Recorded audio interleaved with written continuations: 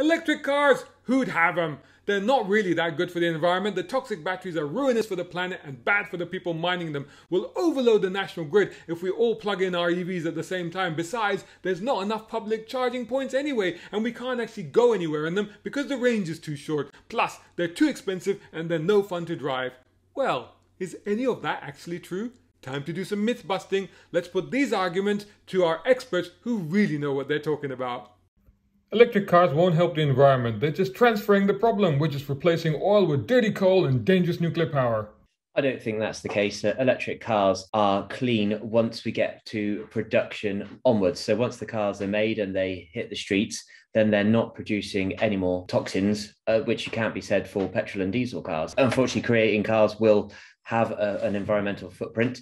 But once they're produced with electric cars, that continues and the batteries are fully recyclable. Mining for battery materials is ruining the planet. It's dangerous and exploits child labor. Okay, so there's a lot of debates about mining and the myths of it. One of them is rare earth materials are used in batteries. That's total nonsense. It doesn't happen. In terms of some of the materials like cobalt, cobalt comes from recycling a lot of materials, such as your mobile phone and your laptops a lot of that generates and goes back into the batteries.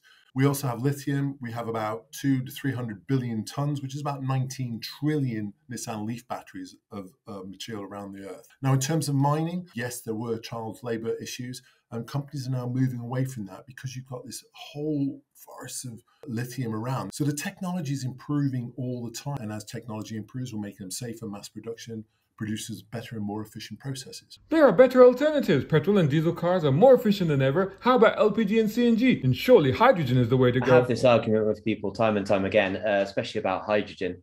There will be a place for hydrogen, and I think that's for commercial vehicles, but there is already an infrastructure for petrol or diesel. Um, we don't need to try and create an, another infrastructure for hydrogen. Electric makes common sense when there is electric on every street corner and a, a widely available and a renewable source the electricity required to even produce hydrogen in the first place. Is very energy intensive and you can power hundreds of vehicles off of it to create hundreds of uh, cars worth of hydrogen. So the whole point of burning things to propel ourselves doesn't work. So regardless of if it's as clean as possible with CNG or LPG, it's still burning things and it's still harmful to the environment. Disposing of toxic EV batteries will be an ecological disaster. So the first thing that we've got to consider, and a lot of people come up about this and say, oh, it's disaster in disposing of batteries. EV batteries are now 100% recyclable. When they do get to their end of life, you can recycle the whole element of it and feed it back into the system.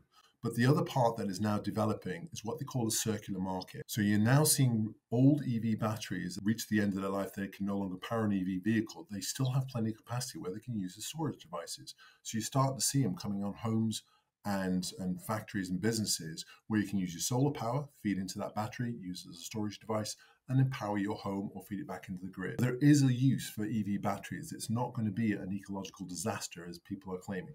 If we all switch to EVs, we'll overload the national grid. A lot of people say that, but there's two things you have to consider here.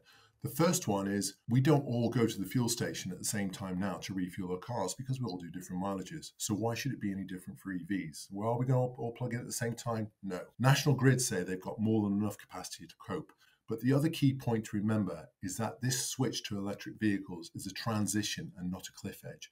So as we transit over to EVs, they're gradually coping the grid and scoping the grid to make sure that we can cope. But 45% of our energy is renewable. There's nowhere to charge an electric car. The public charging network is woeful. There are many charge point points in the UK, more than fuel stations. Most cars and phone apps for charging will tell you where they are and guide you to them. On today's news, the government has recognised this and announced a target of 300,000 by 2030 with reliability issues being resolved. Employers need to be incentivized to provide charging network. They're useless for long distances. The electric range is too short. I am fortunate enough to have a Tesla and it has a maximum of 200 mile range, which is a couple of hours of driving. That's plenty enough for both my bladder and for not need to stop and needing to have a little bit of a, a rest or a walk around. Uh, I don't think anyone should be driving for three, four, five hundred miles without stopping anyway. So factoring in a stop to charge on your journey en route on a public charging infrastructure is a must anyway. So nobody needs an electric car that does more than 300 miles. And we're sitting with modern chemistry, we're sitting in a, an area where two to 300 miles is available on quite a few models that are coming out. EVs are way too expensive. This is just adding to the class divide as poor people can't afford electric cars. EVs, the ticket price of an EV at the moment is agreeably expensive, but that is coming down all the time as they're getting towards mass adoption. The plan is that uh, they will be equal in price to ICE vehicles about 2025. But you also have to offset with EVs the lower running costs, the, to tax benefits, and the grants. Generally, an EV is about a third of the price of an ICE vehicle to run, depending on where you're charging and stuff. And also, you've got to consider the future penalties with ICE vehicles. As ICE vehicles are winding down towards 2030, fuel prices are going to start going up. They're going to start taxing and everything. You're going to see environmental issues with people taxing to keep them out of cities. So you've got to balance both together, but EVs are always going to be better. EVs are no fun. There's no engine noise, no manual gearbox, no involvement. So this, I've, I've done motorsport, amateur motorsport for the last 20 odd years, and I've taken my Tesla Model 3 on a track day, and I can honestly say I have more fun in my Model 3 than I have in, in other petrol diesel cars that I've taken to, to tracks and events. And what did I love about it? So you've got really quick acceleration. I'm really not bothered about noise anymore. The, that pure adrenaline rush when you hit the throttle pedal and you just pick up the torque is everything's there coming out corners um, and certainly on the track days that I done, we were hassling BMW M3s. They were holding us up, and the the petrol heads in those really hated it. So I, I'm well over that one myself, and that one is definitely a myth. Electric cars don't have soul. Well, to me, no car has a soul. That's for human beings.